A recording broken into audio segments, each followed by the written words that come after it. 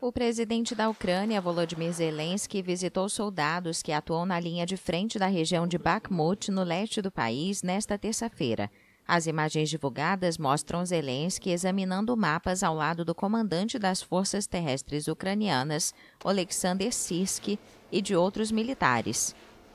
O presidente ouviu os relatos dos oficiais sobre a situação nas áreas sob sua responsabilidade e discutiu suas necessidades em termos de munições para a artilharia e para a defesa antiaérea. Também nesta terça-feira, uma ONG publicou um relatório que afirma que as bombas de fragmentação provocaram mais de 900 vítimas na Ucrânia no ano passado.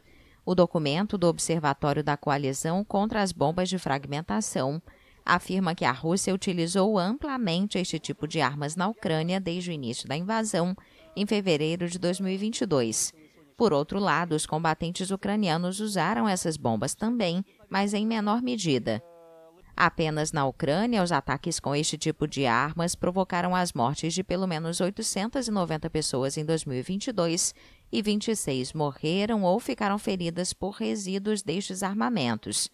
O estudo afirma que o número real pode ser ainda maior, já que há indícios de que as bombas de fragmentação podem ter sido usadas em outros ataques. As munições de fragmentação são armas que liberam ou dispersam submunições desenvolvidas para detonar antes, durante ou depois do impacto.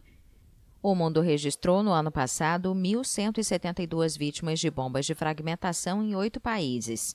O número representa um recorde desde 2010 e os civis representam 95% das vítimas em todo o mundo.